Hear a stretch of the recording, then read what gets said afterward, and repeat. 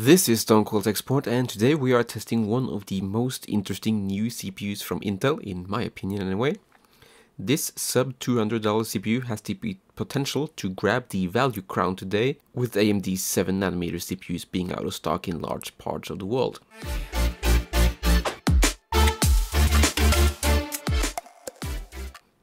Let's go over the test systems for today's review. The AMD CPUs were tested on an ASRock B550M Pro 4 motherboard with the stock Wraith Stealth cooler that comes with both the 5600X and the 3600 processors. Then we used two 8GB sticks of 3200MHz CL16.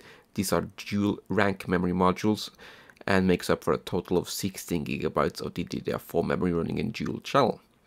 The Intel Core i5-10600K does not come with a cooler, so I used a Cooler Master Hyper 212 Black Edition for the stock results. I don't actually have the 10400 anymore, so the 10600K was configured as the 10400 in the BIOS with a 65W TDP, 4.3GHz single core boost and 4GHz all core boost. This will have it behave these pretty much the same as an actual 10400. Then we have the new 11400, which was tested with its stock cooler. This CPU has a single core boost of 4.4 GHz and a 2.6 GHz base clock. The all core boost was 4.2 GHz when running Cinebench R20. The 11400 has a cut down iGPU. The higher end i5 parts has an Intel UHD 750 which has 32 execution units, while the 11400 has the UHD 730 with only 24 execution units. I don't use the iGPU for anything, so it doesn't really matter much to me, but if you plan on gaming with the iGPU, I suppose uh, a 11500 would make more sense. The Intel CPUs were tested on an Aorus Z490 Elite AC with the latest BIOS update, which added support for Rocket Lake, and with the Rocket Lake CPU, the GPU now runs with PCI Express 4.0. The memory was the same as for the AMD CPUs, and speaking of memory, you can now overclock memory on the new B560 and H570 series motherboards from Intel. We will test the effects of memory overclocking on this CPU in another video, but with all of this out of the way, let's get to the benchmarks. We start off with Cinebench R20. Here the 11400 scored an impressive 3906 uh, multi-core score and 536 single-core score. This is 10% faster than the stock 10600K and even edges out the stock 5600X for the multi-core score. This has to do with the stock cooler for the 5600X, the slab of aluminum that is the Wraith Stealth is not enough to keep up the clocks during an all-core load on the 5600X. Uh, but with a 212 Black Edition and PBO and Auto OC, the 5600X is beating out the 11400, but out-of-box performance is pretty similar for the two. The performance increase from the 10400 was an impressive 23%, so good job Intel. The next workload is Handbrake, where we transcode a video from 4K 30 to 1080p 30. In this workload, the 11400 was the fastest stock CPU, be being 15% quicker than the stock 10600K and 21% faster than the 10400.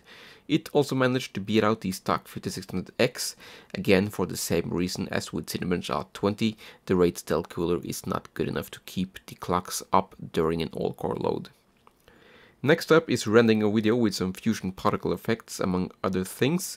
The 11400 was a minute quicker than the stock 10600K and a minute and 19 seconds faster than the 10400. Here though, the 5600X was a full minute ahead of the 11400, but this is still a very great result for the 11400. Moving on to the gaming benchmarks, we start off with Assetto Corsa Competizione. We're doing a lap around Spa with 32 cars on the track. The 11400 matched the stock 10600K here with 102 frames per second on average and with similar frame times as well. This makes it 6% faster than the 10400 and 13% faster than the 3600, both sub $200 CPUs.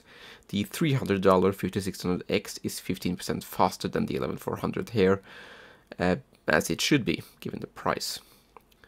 Next up is Battlefield 5, a game that is very CPU intensive. We have raised the max FPS to 300 here, which lets the CPUs stretch their legs a bit. The 11400 is pulling out a win here with 208.2 frames per second on average, just edging out the stock 5600X and having an 11% lead over the 10400. Compared to the slightly more expensive R5 3600, the 11400 was 24% faster, although the 3600 is still delivering a good experience with 167.5 frames per second on average. We also test this game at 1440p, but as you can see, all the CPUs perform pretty much within margin of error of each other, with the exception of the 3600, which is trailing slightly behind. Dota 2 is up next, and here the 11400 comes in second place, just edging out the 10600K and being 14% faster than the 10400 and the R5 3600. The $300 5600X steals the show with 243 frames per second on average, beating out the 11400 by 26%. The Elder Scrolls Online is next, and this and many other MMOs are very dependent on single core performance, and as such, the 11400 does a good job here. Coming in second place just behind the 5600X, the 11400 was 12% faster than the 10400, a decent increase and similar to the difference between the 5600X and the 3600. Next up then is Rainbow Six Siege and with ultra settings and 50% render scaling the 11400 comes in third place, sliding in between the 10600K and the R5 3600.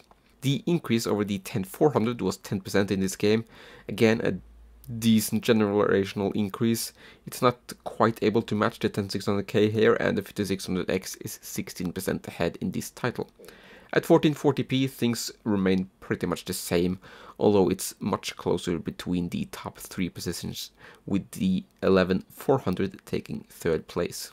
The Sims 4 is the next title and here the 11400 is again able to edge out the 10600K and beat the 10400 by 11%. The R5 3600 is sliding, lagging a bit behind here, but the 5600X is taking the lead, being 14% faster than the 11400. Shadow the Tomb Raider is our second to last game, and here at 1080p, the 11400 is taking the second place, again edging out the 10600K and beating the 10400 by 8%. It's a full 20% faster than the 3600, but the 5600X is the fastest CPU again, beating out the 11400 by 8%. Moving to 1440p and we are seeing a GPU bottleneck with all the CPUs apart from the 3600 which is a bit slower. Warzone is the final game we tested. We dropped into a solo player lobby and ran a set route near the quarry, sometimes being killed in the middle of the run and having to start over. It was great fun, especially doing 3 runs with each CPU. It made for some interesting results. The 11400 came in second place with a rather large 7% lead over the stock 10600K and a more usual 13% lead over the 10400, also being 23% faster than the similarly priced R5 3600. The 5600X is as usual the fastest CPU with 172.2 frames per second on average. It was 7% faster than the 11400.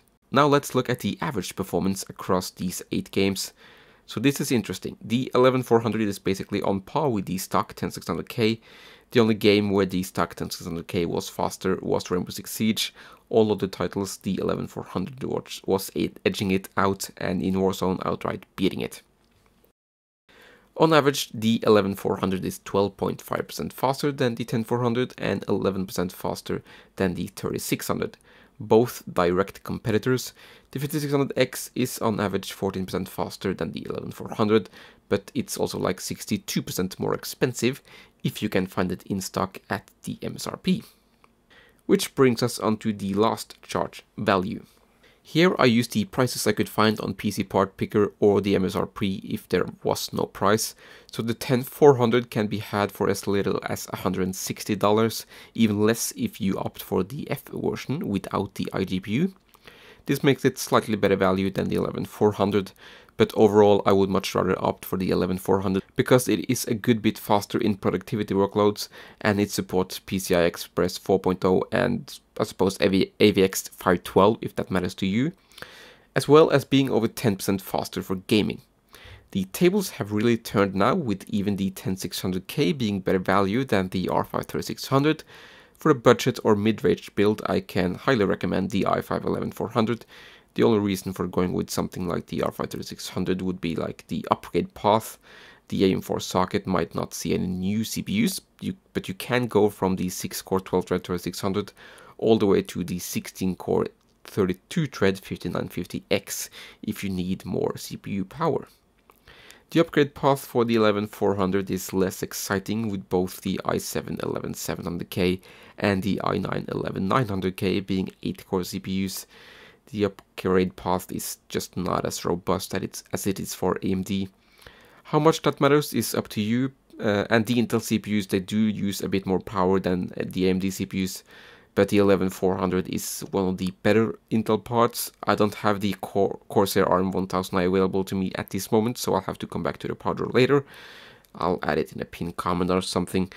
But the low-end i5 parts usually doesn't use a lot of power, so it shouldn't shouldn't be too bad. The higher-end Rocket Lake CPUs have gotten some pretty harsh reviews, and, and rightly so in the case of the i9 10900K, but the i5 range seems to be where Rocket Lake shines, and with the supply issues for AMD, the i5 11400 is likely to be the best budget CPU for a while. So that's it from me for now. Thank you so much for watching and farewell for now.